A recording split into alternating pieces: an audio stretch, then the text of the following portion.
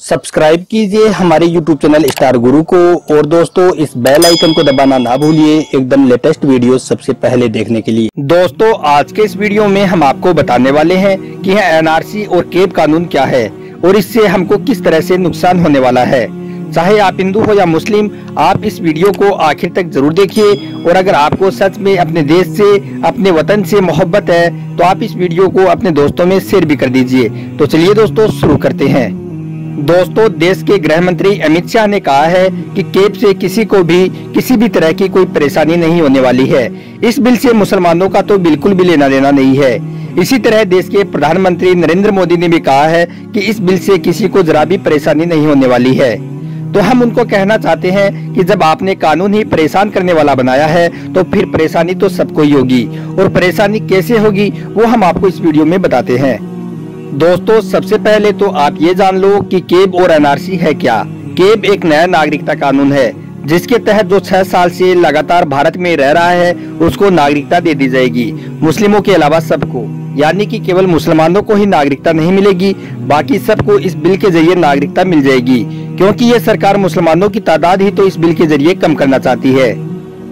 दोस्तों, यह तो हुई केब की बात। अब आपको एनआरसी के बारे में बताते हैं। एनआरसी का मतलब ये है कि जब यह लागू हो जाएगी तो फिर आपको अपने आप को इंडियन साबित करना पड़ेगा।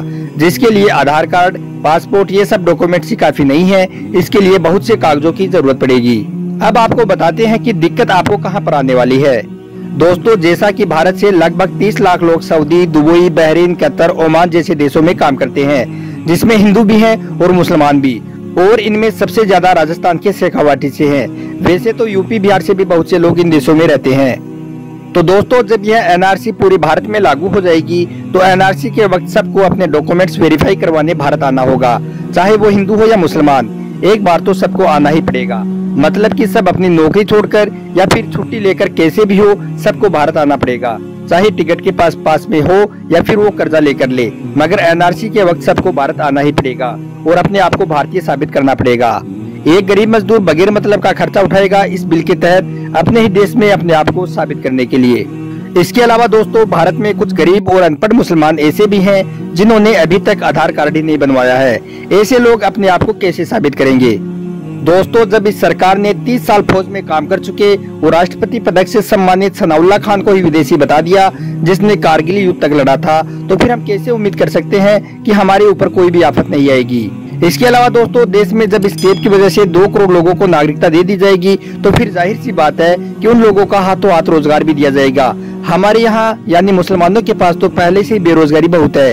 इनकी वजह से बेरोजगारी और ज़्यादा बढ़ जाएगी। हम तो अब कचौरी समोसे भी नहीं बना सकते हैं, क्योंकि सरकार ने प्याज भी दो सौ रूपए किलो कर रखे हैं।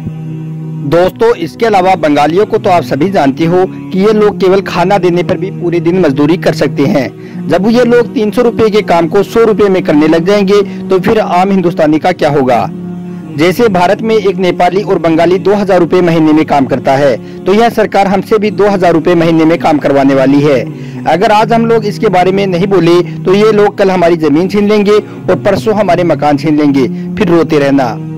दोस्तों, इतिहास गवाह है कि हरियाणा में जो उन्नीस में शरणार्थी बनकर जिस मकान में रुके थे, उसके वो मालिक बन बैठे और जो मकान मालिक था, वो नौकर बन गया। इसलिए ये केब ना गरीबों के हित में है, ना मजदूरों के हित में है, ना देश के हित में है, और ना ही हिंदू और ना ही मुसलमानों के हित में, और ना ही ये हमारे संविधान के हित में है। यह बिल केवल बीजेपी के हित में है, ताकि वो इस कानून के ज़रिए वोट बैंक बना सके। दोस्तों, एक बार अपने दिल से ज़रूर सोचना। एक भारतीय होने के नाते विदेशियों का बहिष्कार कीजिए और इस कानून का बहिष्कार कीजिए, और इस जानकारी को ज़्यादा से ज़्यादा लोगों में शेयर कीजिए। आपका बहुत बहुत शुक्रिया।